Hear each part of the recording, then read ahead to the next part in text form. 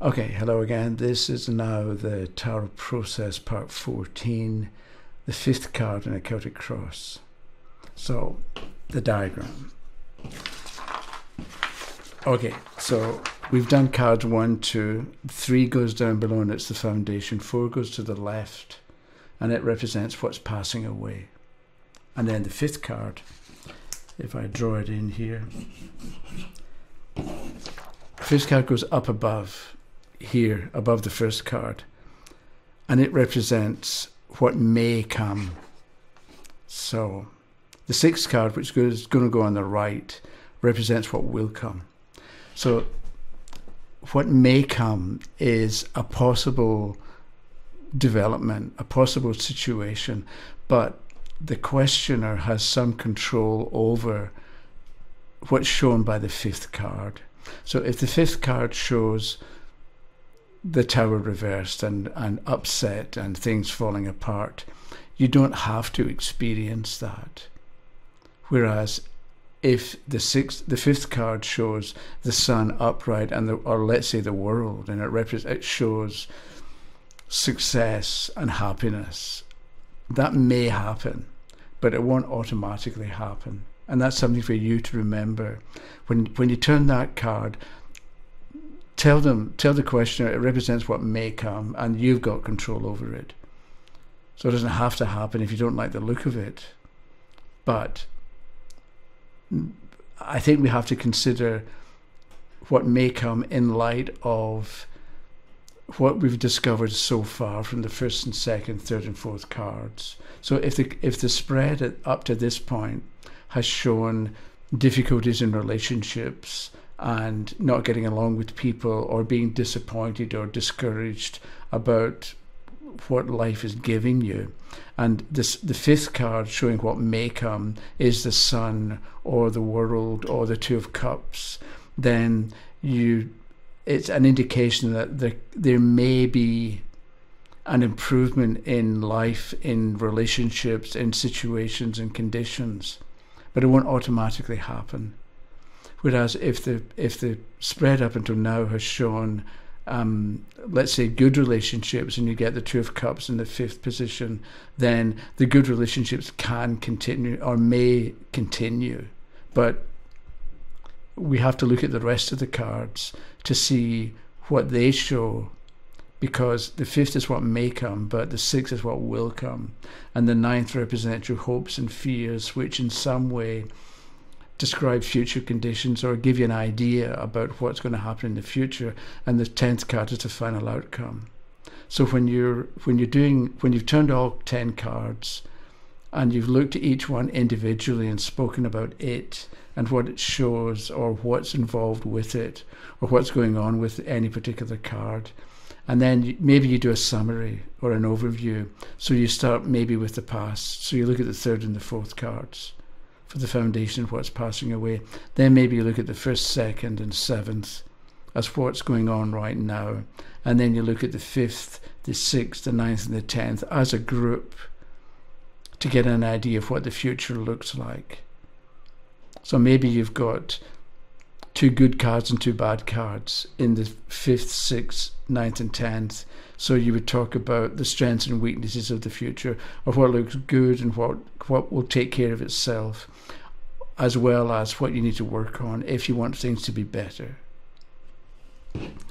Excuse me. Um, so it's it's kind of hard to know what to say about the fifth card in isolation. So um, let's say, and again, it might be easier if we knew the first four cards. But let's say the fifth card is the sun reversed right? So what may come is disappointment, because if the sun is upright, what may come is overall success and happiness and contentment and a sense of wonder, because as a child, right? Um, and and babies and, and infants, we we we don't know what they see. We've forgotten. We were at that age once upon a time, but you don't know what it was like. You've forgotten what it was like to be a baby and what the world looks like through the eyes of a one year old or a three year old.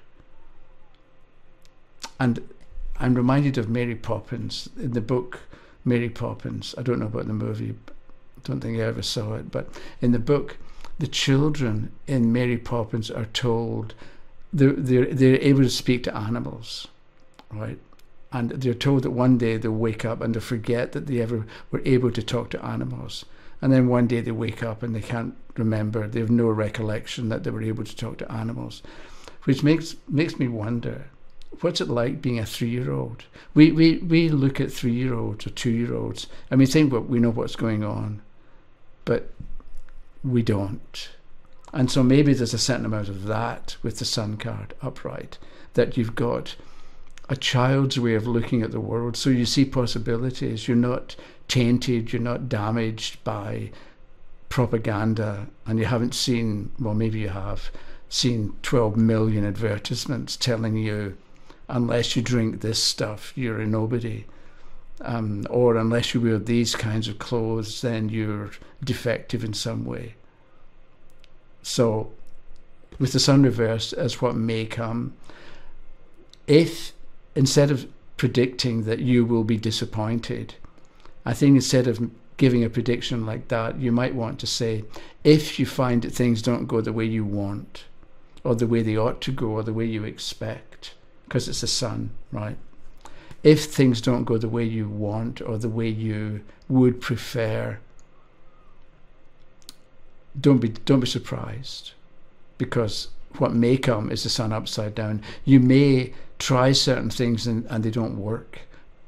Does that mean that you give up completely? Probably not, because it's a sun card. If we got the the devil reversed in the future, and we said something like if things don't go the way you want, give up, you know, start again because it's the devil. And if you keep going with things that you don't want or don't enjoy, you're going to get more and more trapped. Where, do you know what I mean? It's a difference between the devil and the sun and what you would say based on the card itself. So you, you can have the same the same circumstance of things not going well, but how you handle it with the sun reversed is um, remember you can always try again, or remember that you can you can um, reorganize or restructure or have a different plan or make a small tweak to make it better to get to where it is that you want to go. Whereas if it's the devil, can't find the devil in here. If it's a devil reverse, then you know it's just not going to work. You know, if if things go badly, it's because you, they're not right or you are not a good fit with them or you should be doing something different. So you, you maybe with the devil reversed, you're able to warn the person about how to proceed more wisely, or there's going to be a need to proceed with wisdom, because the devil is reversed in the future. Whereas with the sun reversed in the future, things don't go your way, it happens. And we know this, so don't worry about it. Um, or else, let's say, the future, or it's what may. So with with the fifth card, it's what may come. So you, the questioner, or the questioner has a choice when it comes to the conditions and the situations shown by the fifth card. If they like the look of it, then they can have it. Let's say the chariot represents travel maybe not so easy right now, but you can always expand your mind if you can't expand your physical borders. Um, so, if the chariot is upright as what may come, then if you get ideas about expansion or about traveling or about expanding your understanding of life and living or taking a, a university course, if you get ideas like that, go for it, because it. Whereas, whereas you, you're you're sort of paying attention to the ideas that come to you, and relating them to what's shown by the fifth card. Whereas if the fifth card is, all I'm getting is I don't want just major trumps here. Um, let's say the ten of batons, right? So this shows somebody or a situation where you keep plodding on and eventually you'll reach the end. But maybe what you ought to do is stop for a moment and reorganize your burdens. So maybe what you do is you look at the different areas of your life and reorganize them so that you can handle more or handle it better. So maybe what you do is before you go shopping, make a shopping list. And you go into the store knowing what you want rather than going to one end of the store to get something. And then you go to the other end of the store to get something else. Then you go to go back to the first end of the store to get something that was right beside the first item that you picked up. That kind of thing is kind of a waste of time and a waste of energy.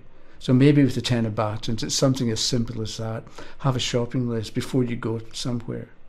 Or else what you do is you've got an aged parent that you have to look after, and you've got children that you're dealing with, and you've got a job that you're dealing with, and you've got the need for alone time. So, how can you sort these four different areas of your life so that you can do more of it or do it better or do it so that it's less stressful? So this is I forget this is let's say this is what may come. So then with this one you may begin to feel overwhelmed and blindly persevering, but it's maybe not such a good it's maybe not so efficient. So what you do is you structure and you, you re- take take a day to reorganize or to think things through. Whereas if the ten of batons is upside down it means you feel overwhelmed. But because this card represents what may come if you find that things are not flowing and things are getting in each other's way then you don't have to do anything about it. If you leave it alone and don't try and fix it, it'll it'll sort itself out. So you, you, you can take pressure from yourself by not trying to fix what either can't be fixed or what doesn't need to be fixed. From the ten of batons upside down, it's what may come. Okay, I don't want to make this too long, um, so I'll stop.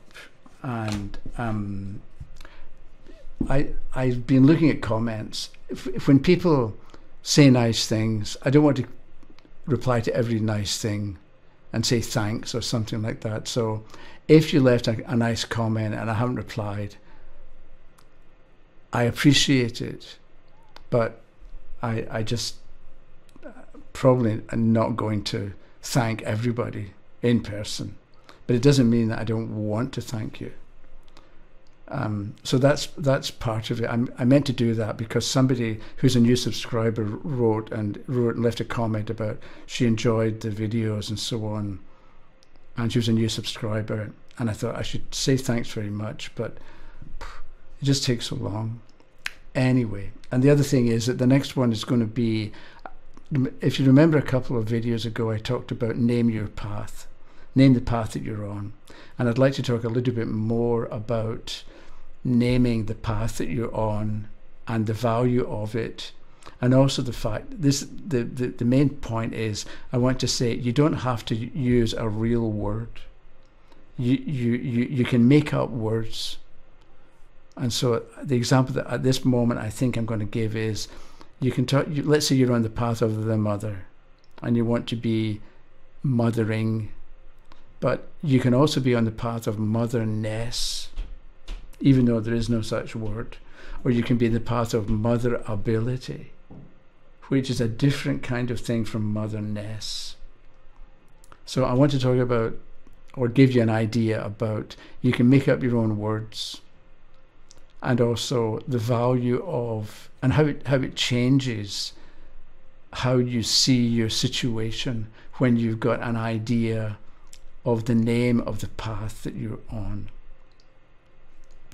That's it for the moment. Thank you very much, and I'll see you in a few days. Okay, bye bye.